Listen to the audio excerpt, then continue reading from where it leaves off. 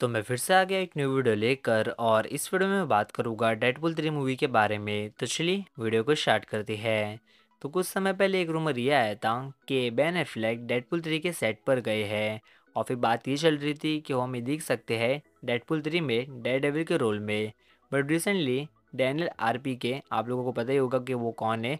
तो उनके द्वारा रूमर ये निकल के आया है कि बैन एफ्लैक डेड डेविल के रोल में हमें डेडपुल थ्री मूवी में नहीं दिखाई देगी।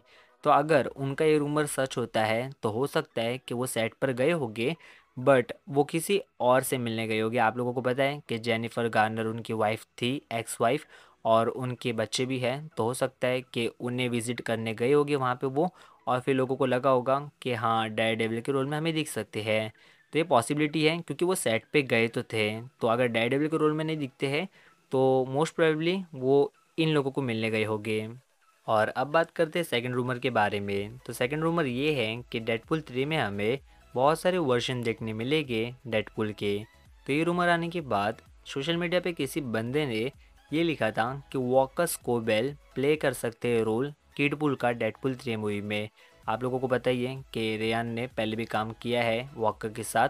तो इस ट्वीट को रेयान रेनोल्ड्स ने लाइक किया था। तो अब हाइप बन चुकी है यानी कि लोग सोच रहे हैं कि लाइक किया है तो हो सकता है कि वॉकर किड पुल के रोल में हमें दिख सकता है डेडपुल थ्री मूवी में।